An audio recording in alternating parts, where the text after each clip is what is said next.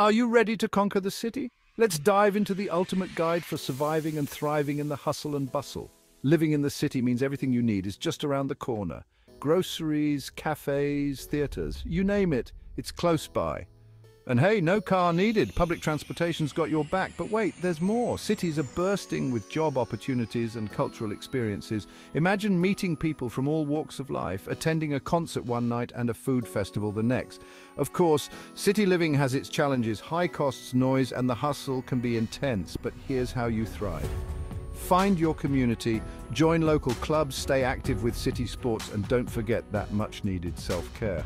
So, what do you love most about city life? Share your thoughts and let's make the most of the urban adventure together.